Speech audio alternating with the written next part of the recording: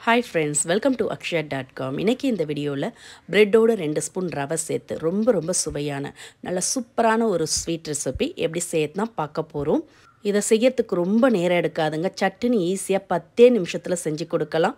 மாலை நேரத்தில் இது மாதிரி செஞ்சு கொடுங்க. குட்டீஸ்லாம் ரொம்ப விரும்பி சாப்பிடுவாங்க. இப்போ இதை செய்யறதுக்கு மீடியம் சைஸில் ஒரு ஆறு ஸ்லைஸ் பிரெட் எடுத்துருக்கேங்க. சின்ன ஸ்லைஸ் ப்ரெட்டாக இருந்தோன்னா நீங்கள் ஒரு எட்டு ஸ்லைஸ் பிரெட் எடுத்துக்கோங்க. இப்போ இந்த பிரெட் ஸ்லைஸ் எல்லாத்தையும் சின்ன சின்னதாக போட்டு மிக்சர் ஜாருக்கு மாற்றிக்கலாம் இது மாதிரி சின்ன சின்னதாக பிச்சு மாற்றிக்கங்க அப்போ தான் நல்லா நைஸாக அறப்படும் நம்ம நார்மலாக எப்பயுமே ப்ரெட்டில் ப்ரெட் அல்வா செய்வோம். ஆனால் டிஃப்ரெண்ட்டான சுவையில் ஒரு ரெண்டு ஸ்பூன் ரவை சேர்த்து இந்த ஸ்வீட் செஞ்சு பாருங்கள் ரொம்ப சூப்பராக பிரமாதமாக இருக்கும். இப்போ ப்ரெட் ஸ்லைஸ் எல்லாத்தையுமே மிக்சர் ஜாருக்கு வச்சு மாற்றிட்டு இதோட ரெண்டு டேபிள் ஸ்பூன் அளவுக்கு ரவை. வறுக்காத ரவை தாங்க சேர்த்துருக்கேன். வறுத்த ரவையாக இருந்தாலும் சேர்த்துக்கலாம். ரெண்டு டேபிள் ஸ்பூன் அளவுக்கு ரவை சேர்த்துக்கலாம். சேர்த்துட்டு இது கூடவே நாலு ஏலக்காய் சேர்த்துக்கலாம். சேர்த்து இதை நல்லா அரைச்சி எடுத்துகிட்டு வந்துடலாம்.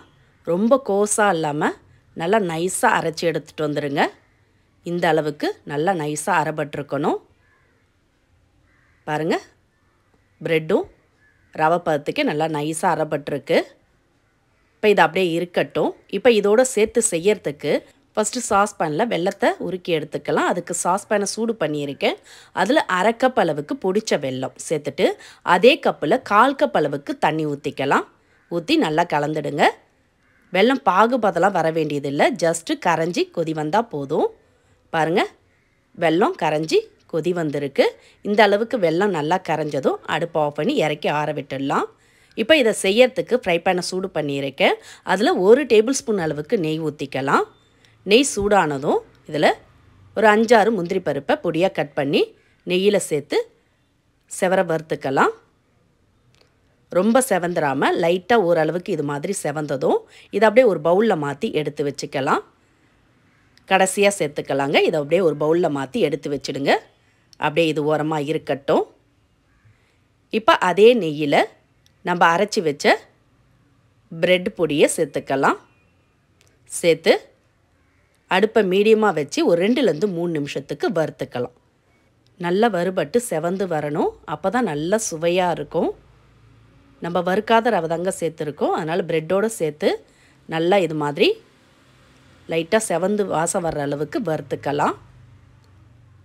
இப்போ இதோட நம்ம கரைய வச்ச வெள்ளைக்கரிசலை வடிகட்டி சேர்த்துக்கலாம். எல்லாத்தையுமே சேர்த்துக்கங்க.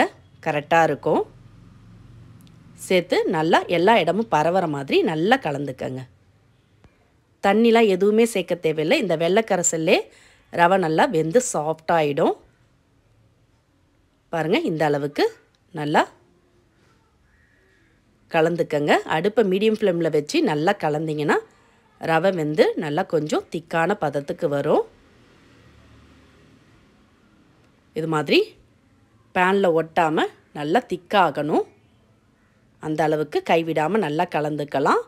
நம்ம ஏற்கனவே ஒரு டேபிள் ஸ்பூன் அளவு தான் நெய் சேர்த்துருக்கோம்.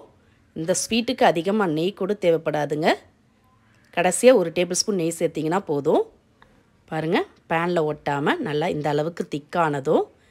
இப்போ இதில் நம்ம நெய்யில் வறுத்த முந்திரி பருப்பை சேர்த்துக்கலாம். கூடவே ஒரு டேபிள் ஸ்பூன் அளவுக்கு கடைசியாக நெய் சேர்த்துக்கங்க.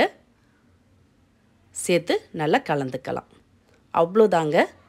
ரொம்ப ரொம்ப சுவையான ஈஸியான பிரெட் ஸ்வீட் ரெடி ஆகிடுது நல்லா இது மாதிரி கலந்த பிறகு இப்போ இதை அப்படியே எடுத்து ஒரு பவுலில் மாற்றி சுட சுட சோப் பண்ணலாம். இதில் நம்ம வெல்லம் சேர்த்து செஞ்சதுனால ஸ்வீட் ரொம்ப அருமையாக இருக்கும். இதே நீங்கள் கோதுமை ப்ரெட்டில் கூட இந்த ஸ்வீட் ரெசிப்பியை செய்யலாம். இன்னும் டேஸ்ட்டாக இருக்கும். மாலை நேரத்தில் சட்டுன்னு ஈஸியாக செய்யக்கூடிய இந்த ஸ்வீட் ரெசிப்பியை நீங்களும் ஒரு முறை ட்ரை பண்ணி பாருங்கள் குட்டீஸ்லேருந்து பெரியவங்க வரைக்கும் எல்லாருமே விரும்பி சாப்பிடுவாங்க. இந்த ரெசிபி உங்களுக்கு பிடிச்சிருந்தா வீடியோக்கு ஒரு லைக் கொடுங்க. ஃப்ரெண்ட்ஸ் அண்ட் ரிலேட்டிவோடு இந்த வீடியோவை நிறைய நிறைய ஷேர் பண்ணுங்கள் மறக்காமல் நம்ம சேனலையும் சப்ஸ்கிரைப் பண்ணிவிடுங்க நன்றி வணக்கம்.